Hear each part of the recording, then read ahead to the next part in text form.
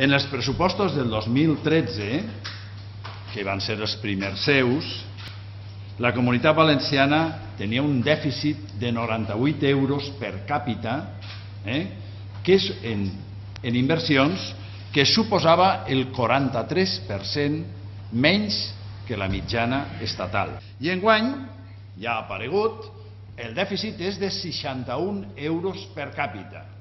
Per tant, és important, eh? Enguany el percentatge s'ha millorat, efectivament, però seguim rebent cada valencià 61 euros per càpita menys en inversions que la resta de l'Estat. Eh? Això suposa el 26% menys. La d'Àrsena. L'any passat els pressupostos deia que tenien un dèficit, un deute de 420 milions. Pressupostos de 2016, després de tot el que s'ha fet i tot el que s'ha parlat. Deutes, 440 milions. Han crescut 20 milions a l'any, 20 milions este any, de la mateixa manera que van créixer en el 2015, estan creixent tots els anys. Per arreglar això, es destinen els pressupostos generals de l'Estat la ridícula xifra de 2 milions d'euros. València també existeix, València també som gent d'un estat que es diu Espanya.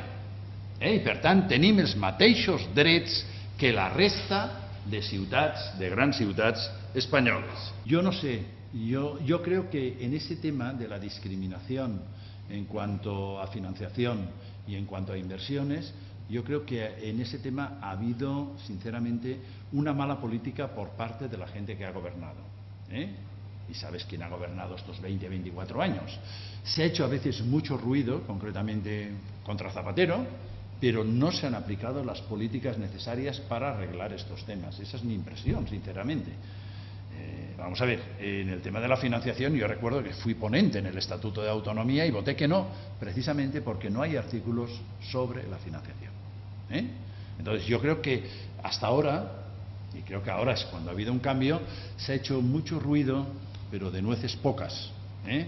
Ah, hay, que, hay que ponerse serio y hay que plantearse las cosas seriamente y conseguir una cosa detrás de otra, porque creo que esas son las políticas que siguen las comunidades que están mejor financiadas. A mí me da la sensación de que no se ha hecho un buen trabajo.